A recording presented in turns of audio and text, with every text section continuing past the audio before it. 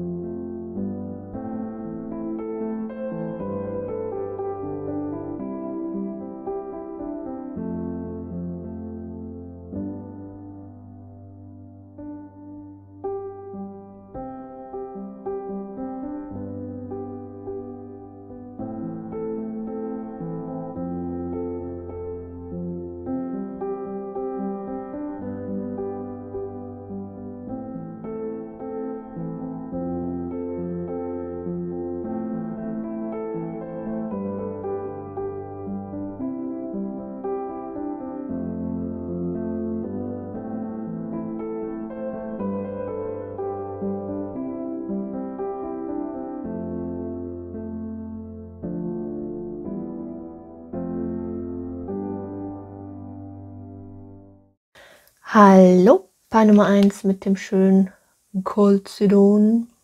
Und wir gucken mal, was denn das Universum für eine Botschaft für euch hat. Also der Tiger fällt in letzter Zeit ja ziemlich häufig. Also ihr braucht anscheinend diese Tigerenergie. Ich meine, das ist unheimlich tolles Tier und auch unheimlich tolles Krafttier.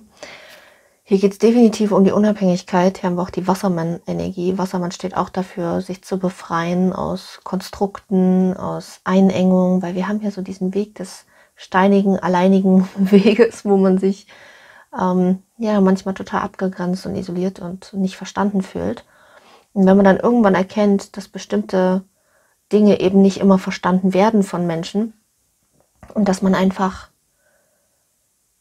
manchmal akzeptieren muss, dass man anders ist oder dass der Weg anders ist oder ne, dass du anders tickst als vielleicht das andere wollten, kriegst du irgendwann dieses Freiheitsgefühl von, ja, so bin ich. Und ich weiß nicht, da ist so eine Selbstliebe mit dem Anmarsch. Und auch ein Treffen von Gleichgesinnten. Also, dass Menschen sich verstanden fühlen von den richtigen Menschen, aber du musst erst wie diesen Tiger in dir erkennen, also diese Stärke in dir erkennen. Damit du dann auch Menschen triffst, die genau dasselbe wollen wie du. Bald, also es ist nicht, packen wir es mal zum Tiger, bald ist diese Veränderung. Momentan ist es wahrscheinlich noch so ein bisschen, und selbst wenn man schon Menschen getroffen hat, ist es manchmal trotzdem, dass man noch nicht so richtig weiß, ne? ist das mein Weg, soll ich das machen? Da fehlt noch ein bisschen Liebe und Vertrauen, aber sowas entwickelt sich. Vor allen Dingen, wenn man sich selbst vertraut. Es geht nicht immer nur um die Vertrauenssachen anderen Menschen gegenüber, vor allen Dingen sich selbst. Ja, ich habe auch das Gefühl, da ist so ein Abschied von so einer alten Energie, Abschied von dem alten Ich, das, was jahrelang gedient hat und jahrelang für dich da war und jahrelang dir genutzt hat, ist jetzt nicht mehr vonnöten, weil ja, es nicht mehr gebraucht wird du selbst sein. oh, wie sich das immer alles fügt. Ich, ich liebe das. Ja, du sollst wirklich du selbst sein. Nicht mehr hinter dem Berg halten. Und ein Tiger, der ist eigentlich gechillt, der ist ganz ruhig, der ist so im Hintergrund, der läuft da, der, der ist nicht wirklich sichtbar, nicht wirklich auffällig, der ist ganz still und der jagt seine Beute im Ruhigen und der beobachtet auch, ja. Und der greift nur an, wenn es wirklich vonnöten ist. Ansonsten ist er eigentlich ein ruhiger. Das ist so ein ruhiger Geselle. Aber der kann, wenn er will, seine Krallen auch wetzen und zeigen. Ja, ja ich habe das Gefühl, dieses Alte wird aufgelöst. Da passieren gute Dinge in Zukunft ähm, in dir, außerhalb von dir, die dir da auch helfen, das alte Ich zu lösen. Ja, du wirst erkennen, dass das neue Ich definitiv auch seine Prüfung hat. Und dass nicht alles total immer geschmiert und glatt läuft, aber so ist das Leben. Das läuft nicht glatt und geschmiert. Und wenn, dann bist du dein eigener Retter. Aber das fühlt sich, glaube ich, auch an, als ob du dich wie aus, als ob du nicht mehr andere rettest, sondern dich, als ob du dich aus deiner Höhle rausholst, als ob du dich aus deinem Sumpf rausholst, als ob du sagst, das Alte hat abgedient. Brauchst du nicht mehr. Ja. Ja, das Fremdbestimmte wird verschwinden, dass du so gehandelt hast, ähm, weil du immer andere hattest, die dir gesagt haben, wo es lang geht. Das wird nicht mehr aktuell sein.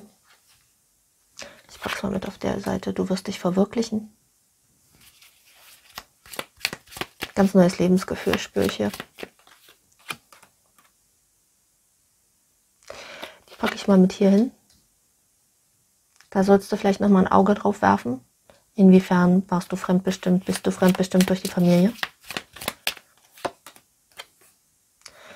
Wo ist der Vater? Was spielt er für eine Rolle in deinem Leben? War er da? War er nicht da? Wie war er da? War er liebevoll da? War er nicht liebevoll da? Hat er dominiert? Ja, auch gerade bei den Frauen. Wie ist der Partner? Ähnelt diese, der dem Vater? Ähnliche Charakterzüge oder eben gar nicht? Genau das Gegenteil das nochmal beleuchten. Auch Väter, die liebevoll waren, die jetzt vielleicht nicht mehr da sind und dadurch eine Lücke hinterlassen haben und dadurch auch so eine Art Selbstschutz über die Jahre entstanden ist, weil man einen Abschied vielleicht vom Vater hatte. Je nachdem, ne, das ist, ist eine allgemeine Legung, kann ich jetzt nicht festlegen, in welche Richtung das geht. Jeder, der es fühlt, wird wissen, in welche Richtung es für ihn geht. Hier geht es auch um deine Berufung. Das heißt, du bist auch jemand, der wird sich beruflich auch verwirklichen. Also beruflich, aber halt, ne? Der wird wissen, wo er hingehört. Und du wirst wahrscheinlich denken, dass es unscheinbar ist, was du davor hast. Ist es aber nicht. Das ist etwas, was du gelernt hast, was die Menschen gesagt haben. Du wirst dich befreien. Und vielleicht ist es auch ein bisschen, dass die Menschen, die dir begegnen, auch ein bisschen deine Retter sein können. Ja, nicht im Sinne von, oh, sie sind jetzt deine Retter und du wirst nie wieder in diesem Leben irgendwie dich selbst retten können. Nein, sondern manchmal braucht man jemanden, der einfach was Gutes sagt oder was Gutes tut, wo man einfach das Gefühl hat, man ist nicht alleine. Und das kann manchmal ein absoluter Retter in einer Situation sein. Ja. Ich glaube, dein Leben war sehr lange so danach gestaltet, wie jemand es für dich richtig gesehen hat wie er es für dich wollte und gar nicht wie du es wolltest. Und ich habe das Gefühl, das hört jetzt auf. Ja. Gerade weil du immer drüber nachdenken musst. Ist das, wie ich das Leben leben will? Ist das wirklich das, wie ich es leben will? Das Glück ist auf deiner Seite. Das Glück ist auf deiner Seite. Machen wir noch eine letzte Tendenz. Meine Tendenzkarten hier. Gucken wir nochmal, ob noch irgendein Impuls reinkommt. Und dann war es das nämlich auch schon Peil Nummer 1. Fische, zwölftes Haus, Gedankengut. Du sollst dich definitiv von allem abgrenzen, was dich nervt, was dich beeinträchtigt, was dich irgendwie traurig macht. Ähm, du darfst dich zurückziehen, du sollst dich auch zurückziehen, wenn es notwendig ist. Du sollst dich auch ruhig dem Spirituellen zuwenden. Du sollst versuchen, an Dinge spiritueller ranzugehen, nicht zu kopflastig, nicht zu egolastig, nicht zu logisch, sondern immer einen höheren Sinn in Dingen sehen und immer irgendwo das Gute auch finden. Selbst wenn es noch so schmerzhaft ist, man muss es nicht sofort in der Sekunde machen, aber im Nachhinein kann man definitiv immer irgendwas finden, sodass du dich wieder beruhigen kannst und dass, äh, wenn dich irgendwas total aufwiegelt, dass du immer wieder siehst, nein, alles hat immer irgendwo einen Sinn für mich. Ja, nichts ist, ähm, Nichts passiert ohne Grund. Okay, meine Lieben, dann war's das hier zu Pi Nummer 1. Falls du dich noch zu einem anderen Pi hingezogen fühlst, schau den sehr gerne an. Ansonsten schau auch gerne auf meine Webseite, da findest du Infos über mich, meine Arbeit, meine Kindheit, äh, mein Leben, Mm, und ich habe auch momentan einen Sommerrabatt auf meine Angebote. Ich mache Audiobotschaften und schau da gerne mal rein. Ansonsten kannst du mir auch eine Spende zukommen lassen. Da findest du was in der Infobox zu oder auf meiner Webseite steht deine Spende. Und ansonsten sehen wir uns im nächsten Video. Macht's gut.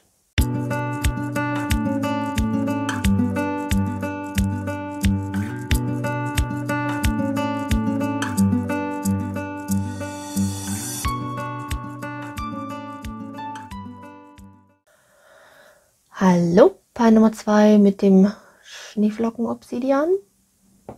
Wir gucken mal, was für euch reinkommt. Uiuiui. Haben wir schon mal die Jungfrau-Energie, aber auch die Sonnenblume.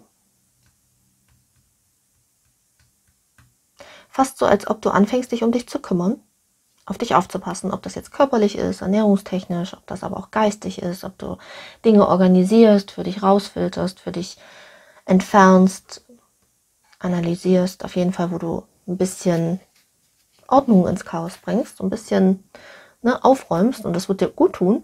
Und gleichzeitig wird dir dann aber auch ein Spiegel vorgehalten. Das heißt, dein Verhalten und das, dass du dich um dich kümmerst, wird dir nochmal zum Vorwurf gemacht, weil es Menschen nicht unbedingt gefällt, dass du das tust und du wirst sozusagen diese Prüfung erleben, dass du einfach nur siehst, dass derjenige ein Problem mit sich hat und vielleicht auf sich nicht aufpasst und gerade eigentlich nur mit sich zu kämpfen hat und dass das nicht deine Sache ist. Aber das wird dir trotzdem gespiegelt. Das ist fast so deine Glücklichkeit oder dass es dir gut geht oder dass du entspannt bist oder dass du für dich jetzt vielleicht was organisiert gemacht hast, wird dir gespiegelt. Das ist so, du wirst nochmal wie getestet. Das ist so, als ob Menschen auf dich zukommen und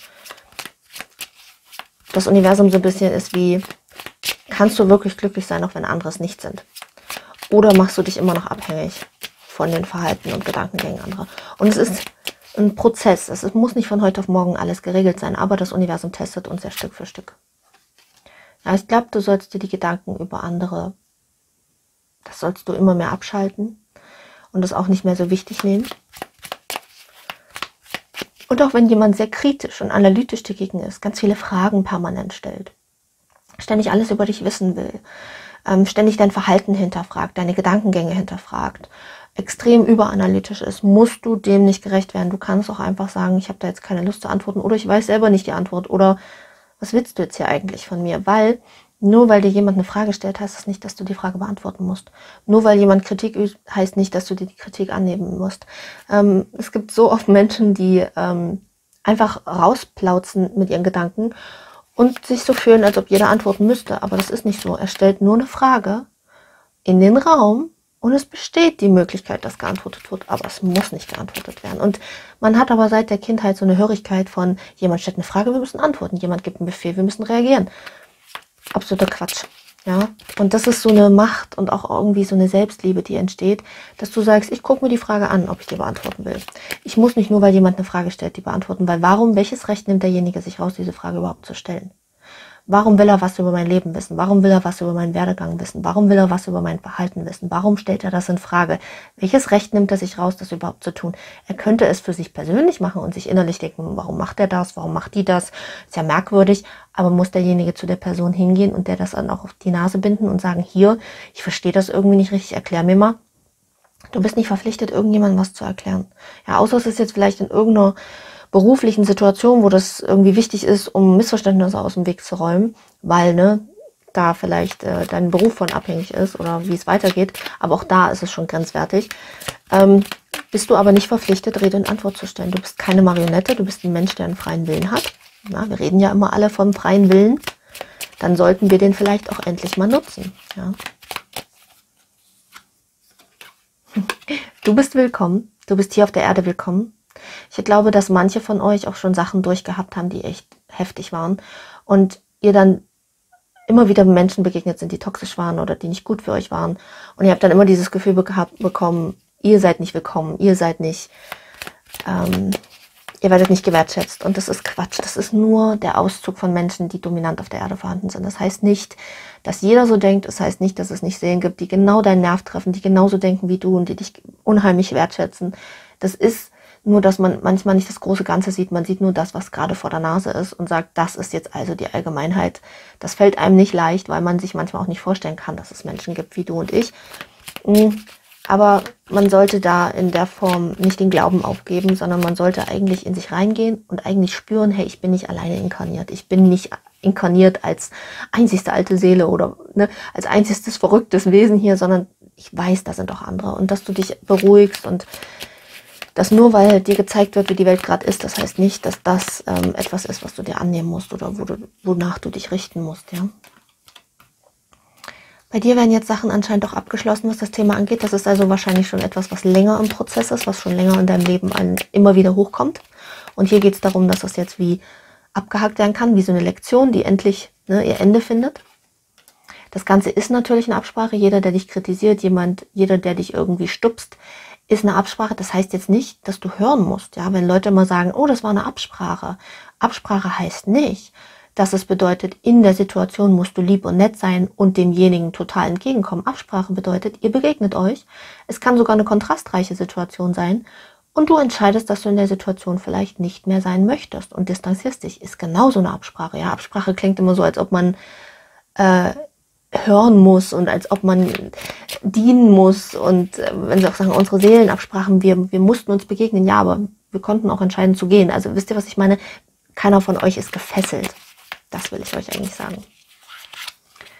Ja, manchmal macht ihr euch, glaube ich, auch ein bisschen Zeitdruck. Oder habt das Gefühl, Zeit läuft weg oder ihr habt schon Zeit verloren oder die Zeit vergeht nur noch so. Das stimmt nicht. Das ist nur etwas im Außen. Das heißt aber nicht explizit für dich in deinem Leben ist es schon alles weg. Ja, du sollst aufpassen, dass du dich um dich kümmerst und nicht immer um die Bedürfnisse anderer. Für den einen oder anderen kann ein Ortswechsel anstehen danach oder sogar währenddessen. Es kann ein Umzug sein, es kann sein, dass du aus der Situation rauskommst, es kann sein, dass du da auch beruflich vielleicht eine Veränderung kommt. Dieses Rumpelstilzchen kommt in letzter Zeit bei mir sehr oft.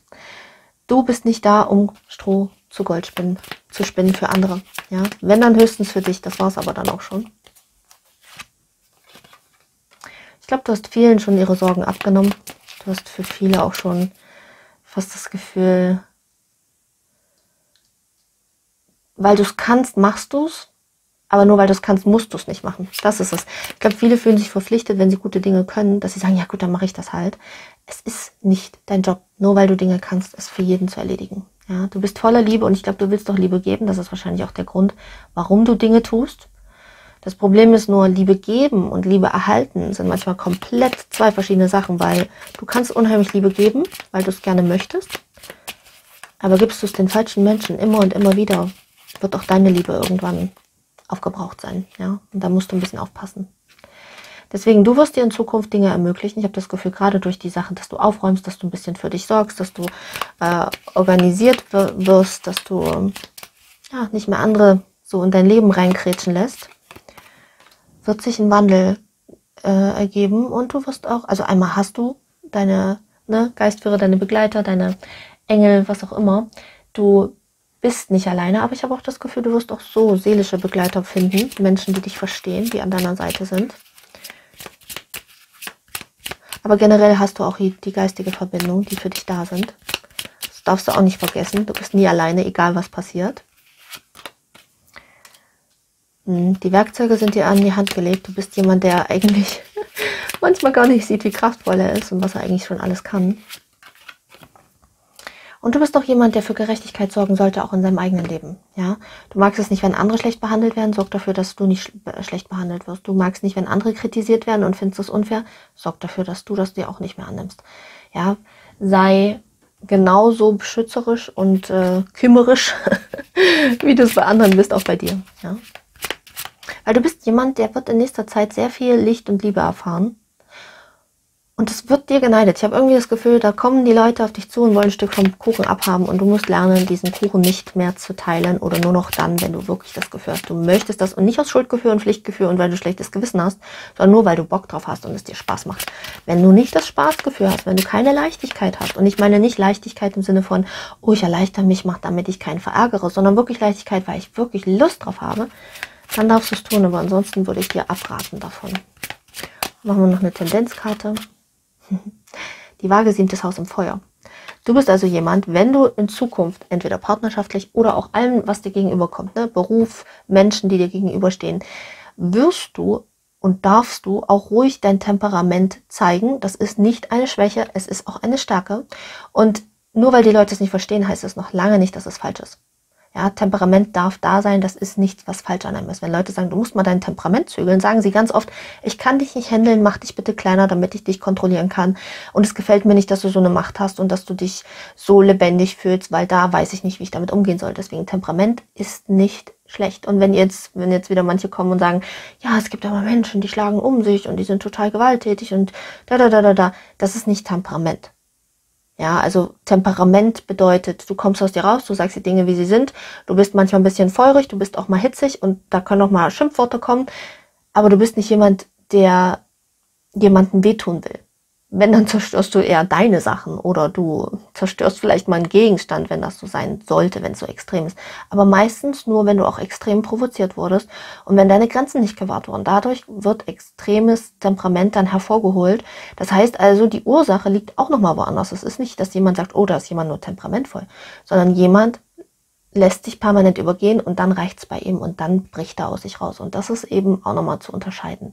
Deswegen schau mal in nächster Zeit, wo da vielleicht beruflich, partnerschaftlich ähm, Menschen, die dir nahestehen, die dir permanent jeden Tag gegenüberstehen, mit denen du immer zu tun hast, dass du da guckst, ähm, welche inspirieren dich und welche treiben dich in den Wahnsinn und dass du da anfängst, nicht mehr das Rumpelstilzchen zu sein.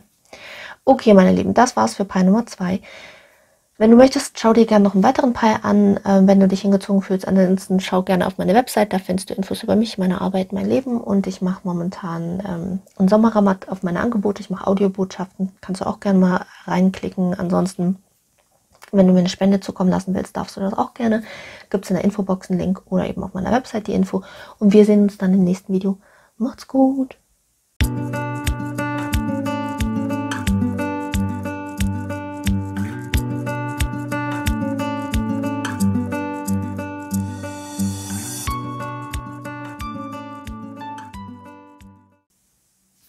Hallo, Paar Nummer 3 mit dem Labradorit. Ja, okay, dann gucken wir mal, was bei euch hier reinkommt.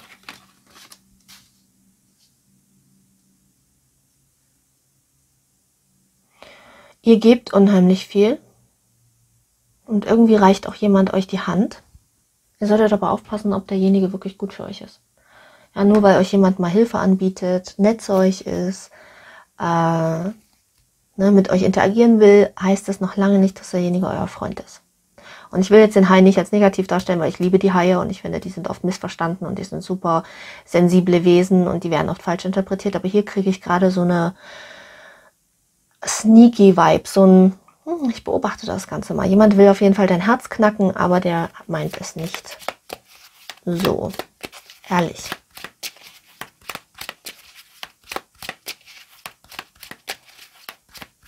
Und du gibst halt, ne?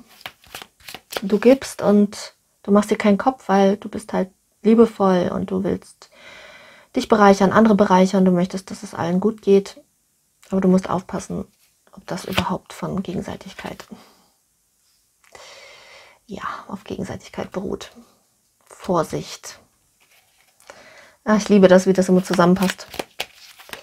Und ihr seht ja, ich mische gerade jetzt, also ja, Du darfst letztendlich weitermachen und Liebe geben. So ist es nicht. Du sollst nur vorsichtiger sein. Also du sollst dich jetzt nicht verschließen und dem Leben wirklich komplett gegenüber äh, verschlossen sein, Angst haben und so.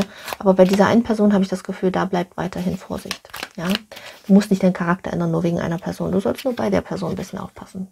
Wir haben auch die Mars-Energie. Das heißt, da könnte jemand recht forsch, kriegerisch, sehr anmaßend, überheblich, ähm, dominant sein und dich in Richtung schubsen, die, die du einfach nicht willst.